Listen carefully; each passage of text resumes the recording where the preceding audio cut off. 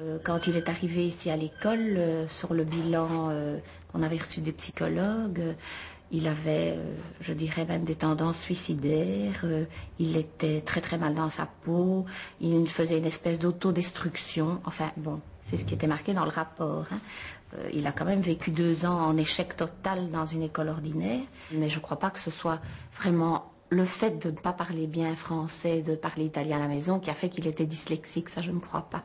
Mais c'est vrai que bon, je dirais que entre la dyslexie et les langues étrangères, euh, je crois qu'un dyslexique a très dur d'apprendre une autre langue.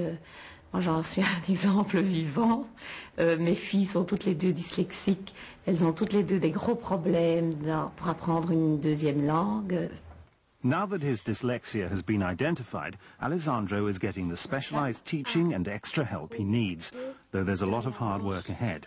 Je trouve que maintenant, quand on le voit, il suffit de le voir, il est bien dans sa peau, euh, il a compris qu'on l'aidait, euh, il progresse, même si c'est pas très vite, mais je crois qu'il a fortement changé du fait que ça va mieux à l'école et qu'on le comprend.